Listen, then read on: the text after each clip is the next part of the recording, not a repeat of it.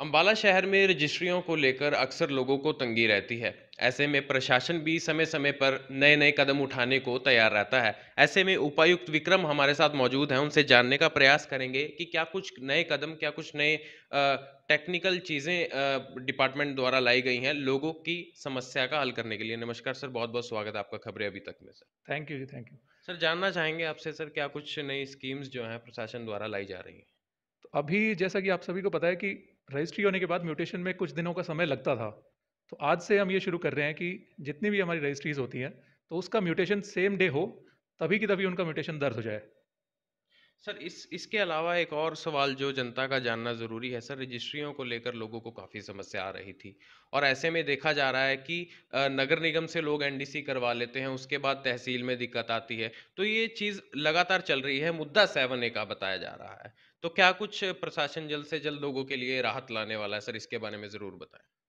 इसके लिए ये मामला मेरे संज्ञान में आया था तो मैंने मीटिंग्स भी ली हैं इसमें, जो कमिश्नर साहब के साथ में भी और डीटीपी जो विभाग है हमारा तो उनके साथ भी। तो ये एक एनडीसी हो जाती है निगम से, फिर एक एनओसी की ज़रूरत पड़ती है जो अप्रूव्ड एरिया है उसमें भी। स्पेशली दिक्कत आती है मेन वाले एरिया में। तो इसके लिए मैंने इनको कहा है कि अपनी एनडीसी और एनओसी की जो प्रक्रिया है स्ट्रीमलाइन करें और जिनकी बनती है जो अप्रूव्ड एरिया में उनके जल्दी से जल्दी उनकी एनडीसी और एनओसी दीजिए। इसके अलावा फिर तहसील में जब जाके वो रजिस्ट्री करवाते हैं तो वो भी जल्दी हो जाए और म्यूटेशन का हमने जैसे बताया ही है कि सेम डे दर्ज करके देंगे। सर, खबरें अभी तक के माध्यम से दर्शकों को क्या संदेश देना चाहेंगे? जिस प्रकार से ये रजिस्ट्री का मसला है, कब तक सुलझने की तदार पर है? इसमें रजिस्ट्री का जो मुद्दा है, ये वाला स्पेशली एनओसी वाला फिर तो इसमें मेरी डायरेक्टर साहब से भी बात हुई है। तो ये जल्दी जो मैटर है, स्पेशली मिन वाले एरियाज़ में जो मैटर है ये वाला तो ये जल्दी सुलझ जाएगा। दूसरा मैं आपके माध्यम से लोगों से भी आग्रह करूँगा कि जो कोई भी अनअप्रूव्ड कॉलोनी हो, कृपया करके उसमें प्लॉट्स वगैरह ना लें।